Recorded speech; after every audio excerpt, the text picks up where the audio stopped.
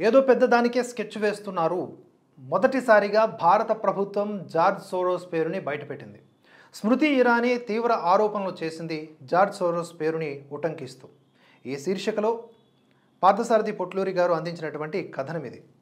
స్మృతి ఇరానీ ఏమన్నారంటే రీసెంట్గా George Soros అనే వ్యక్తి ఒక ప్రకటన చేశాడు.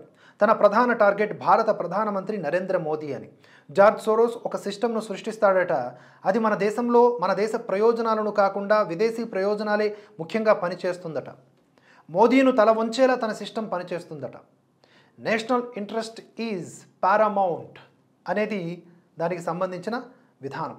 ఇంతవరకు సోషల్ మీడియాలో మాత్రమే జాతీయ భావాలు కలిగిన వారు జార్జ్ సోరోస్ కుట్రలు కుతంత్రాలను బయటపెడుతూ వచ్చారు. వాటిలో చాలా వరకు నిజాలే తేలాయి కానీ మెయిన్ స్ట్రీమ్ మీడియా అది ప్రింట్ మీడియా కావచ్చు ఎలక్ట్రానిక్ మీడియా కావచ్చు జార్జ్ సోరోస్ పేరు ఉచ్చరించడానికి కూడా భయపడుతూ ఉన్నాయి లేదా ఆసక్తి చూపించడం లేదు. దశాబ్దాలుగా జార్జ్ సోరోస్ మన దేశ వ్యవహారాల్లో తలదూర్చి తన ఆలోచనలకు అనుగుణంగా కాంగ్రెస్ పార్టీని వాడుకుంటున్నారని తెలిసిన మీడియా మౌనం పాటించి ఉంది ఎందుకు?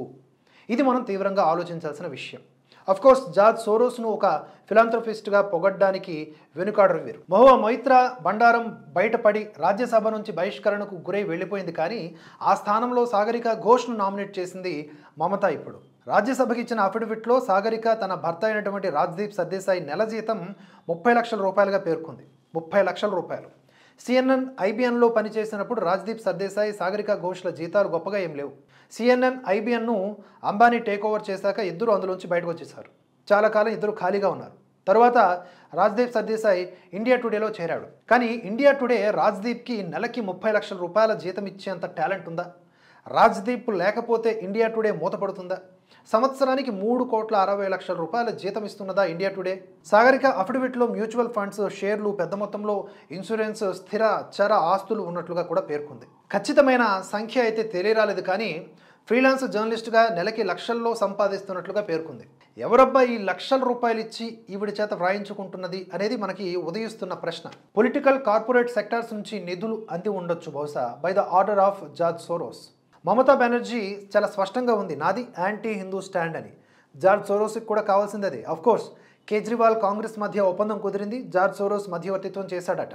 అఖిలేష్ యాదవ్ కాంగ్రెస్ మధ్య ఒప్పందం కుదిరింది. సో జార్జ్ సోరోస్ ఆదేశాల మేరకే అది కూడా జరిగిందనేది ఒక కథనం. అలాగే ఇంత హఠాత్తుగా గద్దర్ సినీ అవార్డ్స్ను ప్రకటించడం వెనుక ఎవరున్నారు? లిబరల్స్ అలాగే సోకాల్డ్ సంఘ సంస్కర్తలకి ఎవరు నిధులు సమకూరుస్తున్నారు? అనేది మనం చూసుకుంటే అసలు విషయానికి వస్తే రాహుల్ న్యాయ్ జోడో యాత్రకి విరామం ఇచ్చి ఇప్పుడు లండన్ వెళ్తూ ఉన్నాడు. మార్చి ఒకటిన లండన్ నుంచి తిరిగి రాగానే యాత్ర మళ్ళీ మొదలు పెడతారు. అక్కడ రైతు ఆందోళన కూడా ఈ నెల ఆఖరు అంటే ఫిబ్రవరి ఇరవై తొమ్మిది వరకు వాయిదా పడింది. ఆ విషయాన్ని కూడా మీరు గుర్తుపెట్టుకోవాలి.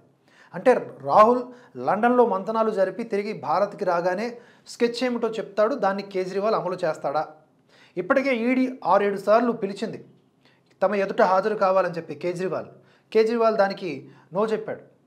ఈసారి పక్కాగా ఈడీ అరెస్ట్ చేసే అవకాశాలు ఉంది కేజ్రీవాల్ని. మరోవైపు పంజాబ్ నుంచి కొంతమంది నకిలీ రైతుల్ని ఢిల్లీ మీదకు ఉసుగొలిపి ఒప్పందం చేసుకునే అవకాశాలు కూడా ఉన్నాయి.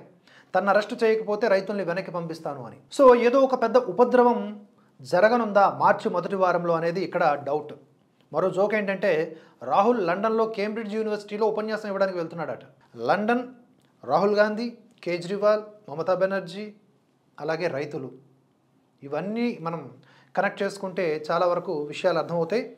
అందుకే అమిత్ షా గారికి ఇది అగ్ని పరీక్ష.